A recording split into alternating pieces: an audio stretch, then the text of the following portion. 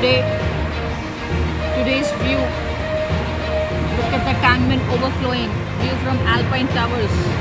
The entire Tankbund is overflowing. See you can see the park being submerged.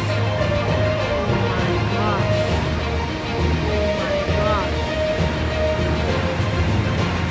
even the park is totally flooded.